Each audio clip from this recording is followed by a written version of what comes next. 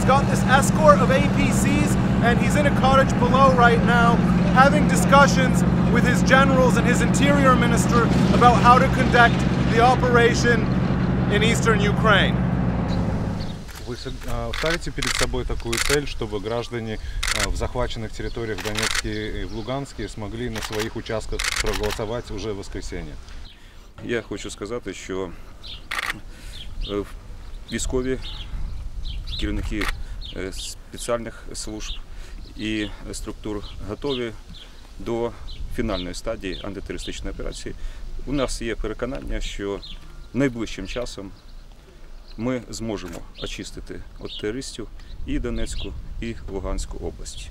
Е, Крім того, я провів нараду з керівниками силових структур якраз Донецької і Луганської області, і ми обговорювали також питання прове- проведення президентських е, виборів е, 25 травня і в Донецькій, і в Луганській області. Ті проблеми, які є навколо цього, і як їх розв'язати для того, щоб більшість громадян, які тут е, проживають, мали можливість прийняти участь в президентських виборах і проголосувати за того кандидата, який, на їх думку, саме представляє їх інтереси.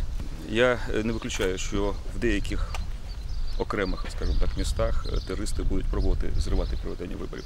Але ж е, по е, на думку, скажімо так, керівництва області і губернаторів, і керівників своїх структур в багатьох містах, в багатьох районах вибори будуть проходити в нормальній обстановці.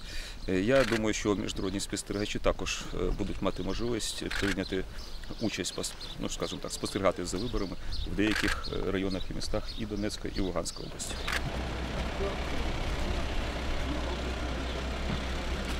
We just spoke to the uh, acting president, Turchinov, the acting president of Ukraine, who's here not very far from Slavyansk, where all of the operations against the Russian separatists are taking place. He says they're trying to clear the Donetsk and the Lugansk region of the separatist movement for Sunday, for when the elections are going to take place. The interior minister is also here, and they just met with a lot of the generals who are based in this area to talk about that operation. They're pulling out now.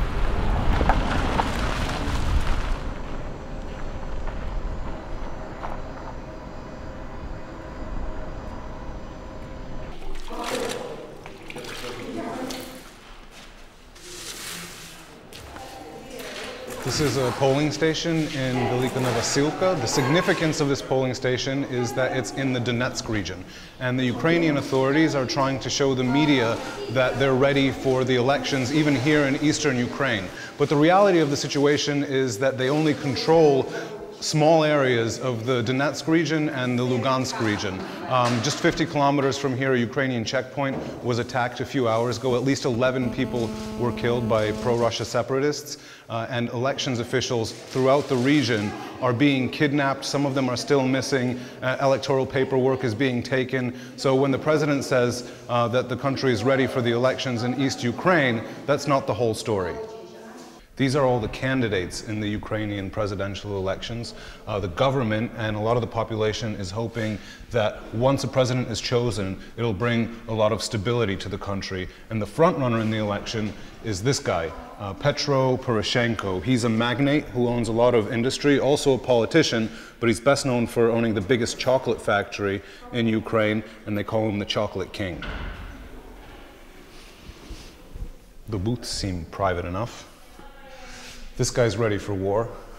Надо проводить выборы и поддержать и установить конкретно украинскую власть в этом районе. 14 числа был у нас поднят флаг ДНР, и сепаратизм у нас процветал. Но э, флаг ДНР просуществовал 29 часов.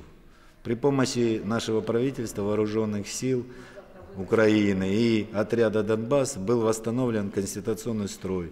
То есть был поднят флаг Украины национальной, и дальше началась подготовка к выборам. Как вы думаете, э, во многих э, районах э, нельзя будет проводить выборы в Донецкой области?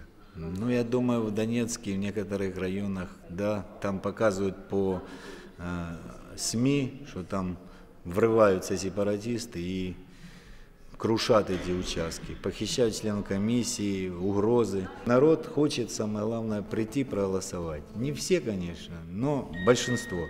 После голосования президента Украины все будет, надеюсь, успокоиться и будет мирная жизнь.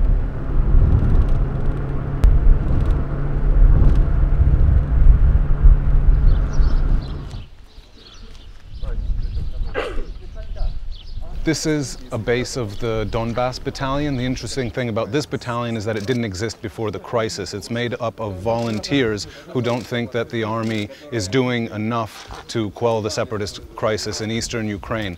It's thanks to these guys that they're going to be able to carry out the presidential elections, at least in this area of the Donetsk region. Говорят, благодаря вам э, в этом э, районе Донецкой области смогли или смогут провести выборы. Это так? Я вам скажу, что благодаря нам, благодаря нам, в, в тех э, районах, в которые мы появляемся, мы не даем распространяться сепаратизму. То есть мы все за единую Украину, будем говорить. Это не то, что нам хочется воевать, мы хотим просто сохранить свою страну для людей. А чтобы по нашей земле не ходили никакие другие народы. These guys are volunteers who banded together to show that there are Ukrainians who don't support Russia in the east of Ukraine, and they've been involved in a couple of operations uh, taking over administration buildings in this area. Henry Langston actually filmed them taking over a police station a couple of days ago. А в день выборов вы будете выполнять охрану участках избирательных или Я не могу вам сказать. Мы выполняем приказы. У нас нету такого, что кто, кто что хочет, тот что и делает. То есть воинское подразделение. А вы сейчас э, э, как часть э, внут- внутренних дел министерства, получается? Мы сейчас как патриоты Украины.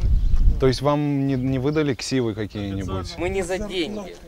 Мы не за ксивы. Мы за, за Украину, за украинский народ, за единую Украину.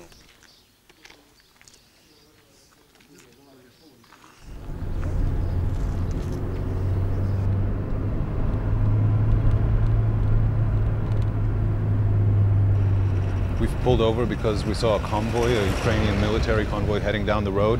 They're headed to the areas that are north of the uh, Slavyansk and Lugansk regions where the separatists are based. Уезжаем. Уезжаем.